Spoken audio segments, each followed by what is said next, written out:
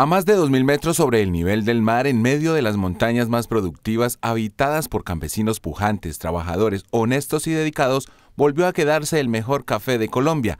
Jorge Arboleda esta vez le puso el sello de calidad.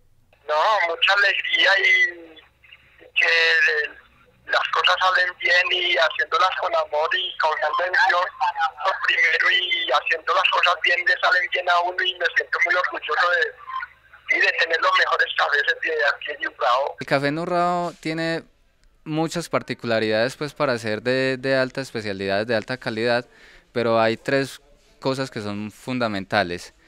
Eh, el clima, para que el café salga de alta calidad, eh, la hoja de trabajar entre 17 y 23 grados centígrados y Urrao tiene el promedio en el 19%. Eh, lo segundo es la variedad. La variedad determina la calidad en el café. Y lo tercero, definitivamente el trabajo que hace el productor con el café en el beneficio.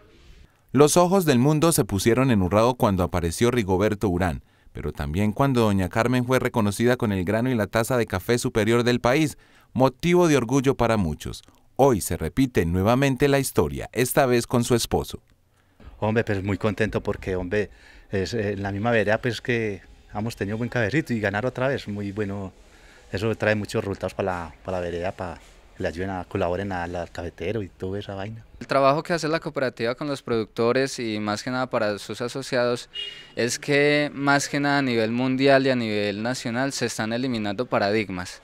Se supone que Antioquia es un, es un café estándar de, un, de una puntuación sobre escala de 82, 83 puntos. Es un café limpio, pero estándar, ¿cierto? Y con los municipios como en Urrao y en Caicedo, que también tuvimos lotes de Caicedo en el concurso nacional, se están rompiendo esos paradigmas. Se está eh, altivando, digamos, el nombre de la cooperativa y sobre todo de los productores antioqueños que hay muy altas calidades para que los compradores internacionales lleguen a buscar estos cafés. Don Jorge Arboleda con el café variedad chiroso hoy llena de aroma y sabor a Colombia y posiblemente a muchas partes del mundo.